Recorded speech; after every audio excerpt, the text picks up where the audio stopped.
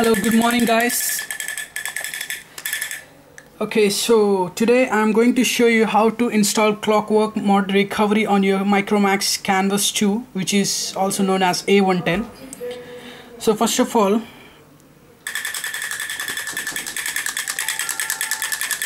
okay so first of all uh, you need an application called mobile uncle tools which you can get it from uh, play store. So this is the mobile uncle tools. On this as you can see there are so many uh, tabs in that. You have to click on recovery update tab. This is the one.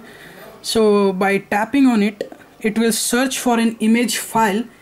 Uh, as you can see that uh, there is an image file search which is known as CWM recovery micromax a110 you can download it from the below link, uh, in the below link which is in the description.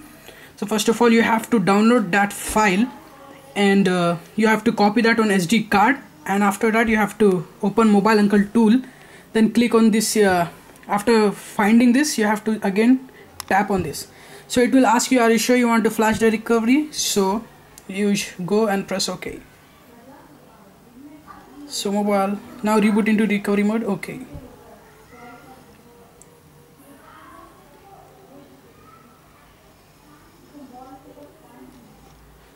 so finally uh, that's it. This is the one now. Uh, this is known as CWM based recovery. This is the uh, recovery which is uh, different from stock recovery. Okay so I will show you how to go into this recovery mode. What you have to do is just uh, press these two volume keys and this uh, lock button at a time like this. Press this both. One minute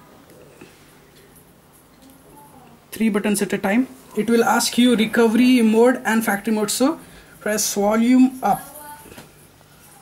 So by pressing volume up you can directly goes into the CWM recovery which is advanced recovery and which is uh, different from stock rec uh, recovery. So after getting into this recovery what you can do is you can install some custom ROMs such as Jelly Bean if you want to upgrade your phone. First of all you need to uh, install the CWM based recovery. So after that you can install uh, jelly bean or uh, custom roms.